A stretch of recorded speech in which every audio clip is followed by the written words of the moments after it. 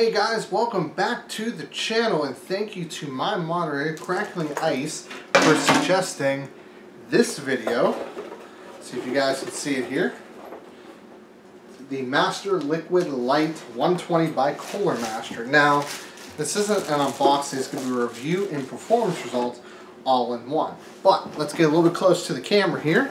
And let's actually look at what we got here. So I already took it out. I've already done my testing, so I actually have your answers. Um, but I did it for AM4. So if you guys look, it has little you know tabs on each end. So it uses the stock mounting, which interesting enough, the stock holders don't use the stock mounting. I, I find that interesting. Um, when it comes to installation, Cooler Master, you need to step your game up. I mean, I don't know if I can show you guys this or not, but like there's so much gap here to mount these brackets. Like you can you can see it right here. So, and I tried so many times. They don't line up that well. The mounting was a pain. This cooler size doesn't fit in a Spec 04 all the way, which kind of pain the butt. Um, so, it's 40 bucks, and it's an AIO 120. So, I can cut a little bit of slack, but boy, like, you could have spent a little bit more time. I'm to have to get different screws for this, because these, like, don't even fit right. They are the right screws. But, it does support AM4. I'll be honest, the mounting went like that. it wasn't even straight up and down, but you know what? I knew it worked based off of my results, so I'm not going to complain. You have LGA 2011, you have LGA 1156, 1155, 1151. I mean, you have, I mean, they give you a lot of stuff. So, you know, and no, these are not the screws that are supposed to go in there, so I checked those too. Um, but I really can't complain. 40 bucks shipped to my door. We have a 120 millimeter AIO. So in this test, we're comparing four coolers, okay? We're not comparing the Hyper 212. I have one. I don't have the mounting for it, but I have one. The Hyper 212, let me show you here, honestly does not perform any better than this guy for my testing. We're talking one or two degrees at most. So I mean, literally, this is the Wraith Spire. I think this is the LED one because I tested the LED that came with the 1700. I, I, mean, it's fine. It works great. I wouldn't waste money on Hyper 212. I would either get something that came with one of these or spend more money on something more than Hyper 212. I also compared an H100i. That's in my system. And let me show you guys here really quick. This was a really bad comparison, but I also totally wasn't ready for this. Compared the Wraith Stealth that comes with the R3. So yes. Why? The answer is because I could. So why not? That's what we do here at PC Budget Solutions. We do something different. We don't do what everybody else does, and we push the limits. So, let's find out. Is it worth spending or 140, $40, 45 ship with taxes in some cases, for a 120 AIO. Well, I'll tell you this, the amount of headaches I had to install it took me nearly 40 minutes to figure everything out and get everything aligned properly. I could build a computer in 40 minutes. Is it worth the headache? Well, I have that answer, you don't, but you guys are about to find out with me. So let's take a super quick look at the system we're working on today. We have the Ryzen 5 1600 paired with the Asus B350MA board, Corsair LPX memory per usual 2133, the Seasonic N122 power supply, a GTX 1060 6 gig DDR, GDDR5 by Gigabyte. That's an open air design, very important for this uh, testing. A Corsair Spec 02 that has a total of two fans, uh, one intake, one exhaust, a Mushkin 250 gig SSD, and a 2 terabyte Seagate drive. That's the system. Let's take a look at how well these coolers performed. So here we have the Ryzen 5 1600 at 3.6 gigahertz, 1.35 volts. The big thing is is 1.35 volts. I wasn't trying to mess with failed overclocking.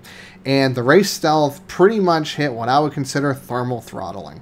I really wouldn't recommend running a, CPU at 92 degrees Celsius for any period of time other than a couple minutes for testing.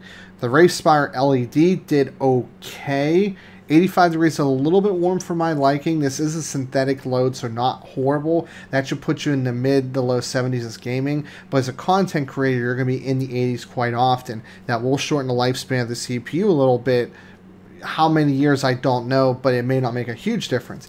But enter the Master Liquid Light 120. 70 degrees Celsius. That is really good for a $40 cooler, considering that the Hyper 212 would perform much similar to the Wraith Spire.